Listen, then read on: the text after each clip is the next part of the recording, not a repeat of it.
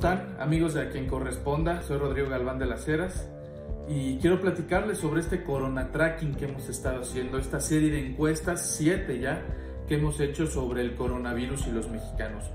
Y los grandes hallazgos que hemos hecho son tres. Primero, 43% de los mexicanos sigue y seguirá asistiendo a lugares concurridos por necesidad. Las decisiones del gobierno deben de tomarse con base en que el 43%, 4 de cada 10, no se va a quedar en sus casas. Segundo, la aprobación del presidente en cuanto a la reacción del coronavirus, no su aprobación en general, ha sido regular. Eh, del gobierno, nada más del presidente, la reacción la han calificado como regular, a veces mejor, a veces peor, en términos generales regular. Pero me parece que lo más importante es que el 67% de los mexicanos creen que la vida después del coronavirus va a ser completamente diferente o casi completamente, que todo va a cambiar, que sus vidas como eran antes no lo volverán a ser más.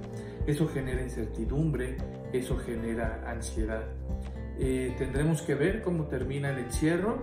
Eh, yo los invito a que en demotecnia.com vean la encuesta completa y esperemos que salgamos de esta como hemos salido de muchas otras. Un saludo y muchas gracias.